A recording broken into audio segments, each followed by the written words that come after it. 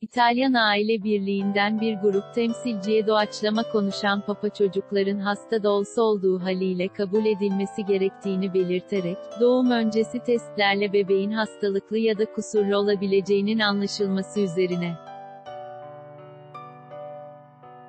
yapılan kürtajı, daha sakin bir hayat için masumu tasfiye etmek, olarak niteledi. Papa doğum öncesi testlere dayanarak yapılan kürtajla ilgili, geçtiğimiz yüzyılda Nazilerin ağrı ırk yaratmak için yaptıkları bütün dünyayı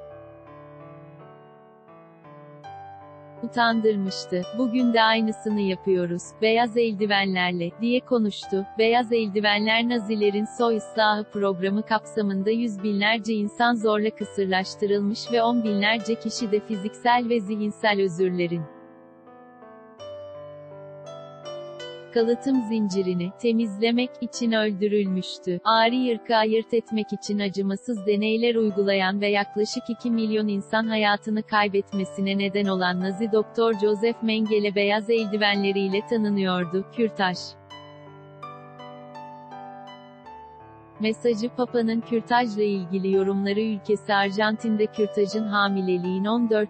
haftasına kadar uygulanabilmesine izin veren yasa 14 Haziran'da parlamentonun alt kanadında kabul edilmişti. Papa ayrıca Ağustos ayında Dünya Aileler toplantısına